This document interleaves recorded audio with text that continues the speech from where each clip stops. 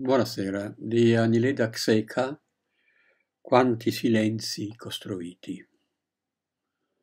Quanti silenzi costruiti per non capirsi, quanta anima scavata nei versi.